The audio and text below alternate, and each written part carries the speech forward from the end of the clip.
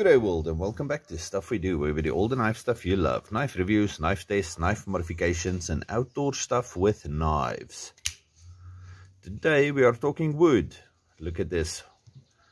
Okay, over here we have a bit of leftover hardekool. Over here we have some Mopani, which is a fantastic wood. Let me just adjust you sorry. Over here we have something nice. Rooibos can you hear that sound? This stuff is super dense.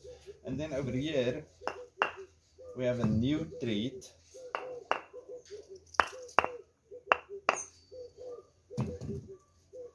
And that stuff is some of the toughest hardest and densest wood I have ever used and that's called knoppiesdoring.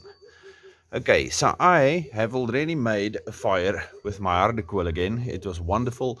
It took me like two days to get the fire to, I don't know, die on me. Um, but now I'm going to make a fire and it's Sunday. Hopefully you see this video today, maybe tomorrow, I don't know.